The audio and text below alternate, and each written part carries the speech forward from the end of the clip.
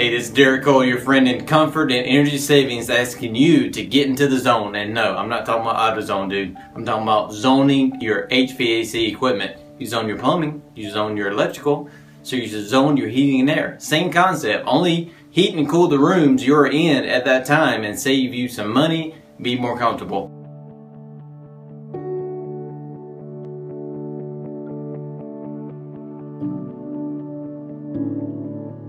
You have different demands upstairs than you have downstairs. So when you look at a house and think about it, uh, heat rises, obviously, right? So when heat rises upstairs, typically would be warmer than downstairs, right? So chances are, I've seen this before, the thermostat is downstairs. You have a unit that runs the whole house up and down. So to get upstairs comfortable, you then have to make downstairs freezing. Zoning can fix this issue. We can actually take a thermostat and put it in that room or put it in another, uh, add a damper or two, and, and we can guarantee comfort in those rooms. Downstairs, heat rises. You also have the attic upstairs. So you have these forces you're going against.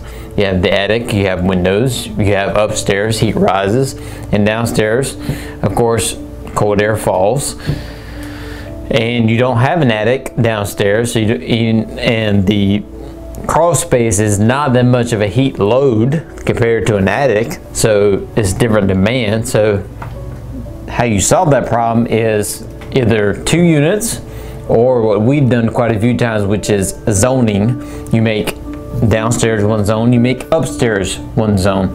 It's very simple. If you have a unit that covers up and downstairs right now, you can very simply make it a two zone system. That way you have a thermostat downstairs, you have a thermostat upstairs, you can keep it that temperature you want, you can keep it that temperature you want, and it can make it work that way.